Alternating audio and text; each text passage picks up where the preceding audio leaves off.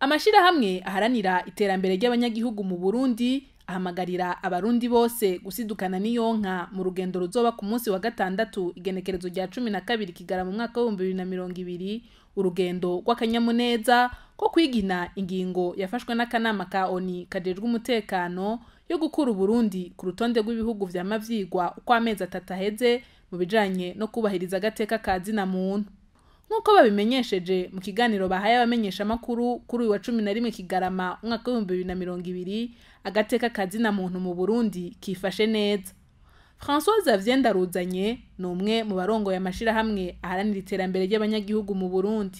Amashirahamwe aharanira inyungu z'abenegihugu arashima iyubahirizwa ry'agateka kazina muntu mu Burundi. Kandi tuvyumve kumwe. Ntitwoshobora kuvuga ko agateka kazina muntu kubahirijwe.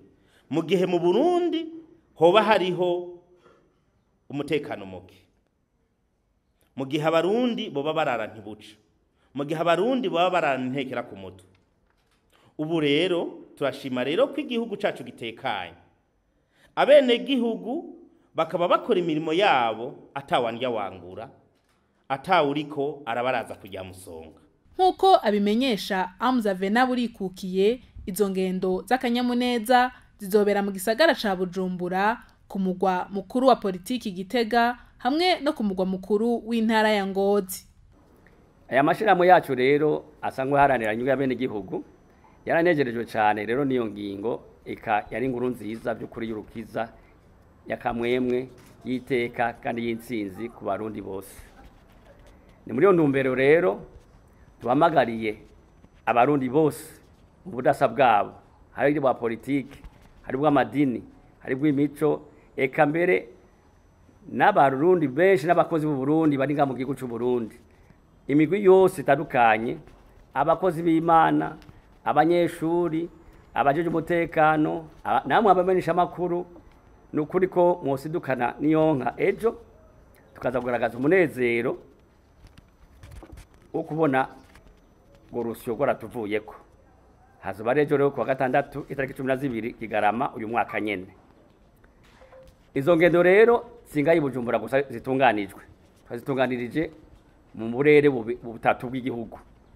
Urugendo rwa mbere ruzohuza abo mu gisagara cya bujumbura n'abari mu nshingano yabo ruzobera ngaha mu gisagara cya bujumbura nyine urundi ruzohuza ababa hagati y'uburundi ruzobahuza ku mugwa mukuru wa politike igitega urugendo rwa gatatu ruzoba ejo ruzobera abari mu buraruko.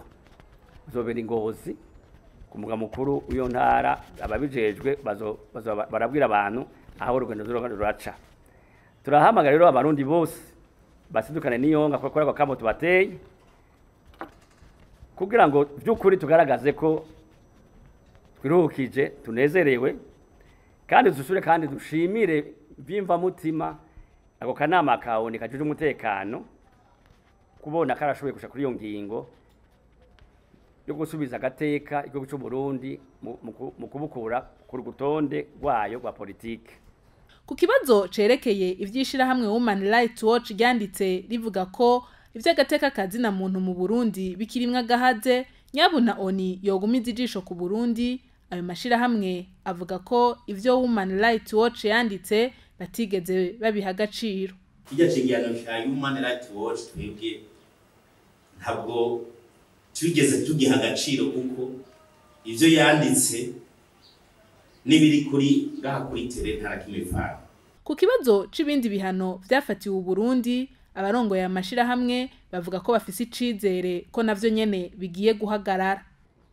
Mugenzi yabivuze neza ati murazi ko isi ingene ipanzwe ingene iringanijwe amakungu yose yo ku isi nibaza ko yobanga itararongo bwigenge yose ari mu muryango umwe w'ibihugu mva amakungu bita umuryango w'ibihugu vya ONU kandi byose bikaca bingana mu burenganzira.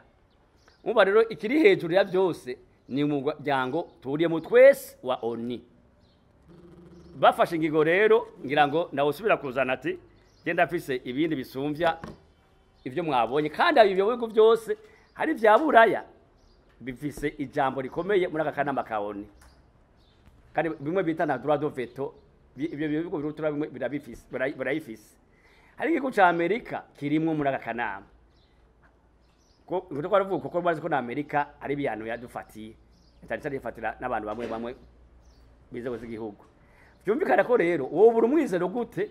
Mu gihe umu- umuryango bari kumwe umaze gufata ingingo yo kwereka yuko uburundi ko twabuvuga ejo turabona ko siko buri uno munsi kandi turabona ko na leta ihari ataco itakoze kugira ngo igende iteza imbere agateka n'iteka ry'umu- ry'umunyagihugu uburundi eka n'umubano mwiza n'ibihugu bibanyi eka n'ibihugu bigenze. Urumva ko uyu mwizero rero turabufise.